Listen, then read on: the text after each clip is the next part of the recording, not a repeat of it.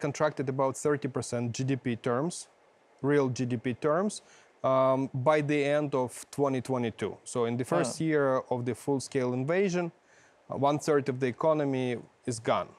Uh, but we expect about maybe 5%. There are different forecasts, but basically we expect economic growth this year and we expect economic growth uh, next year um, in the single digits, uh, which is a sign that the economy is adjusting and is able to improve over time.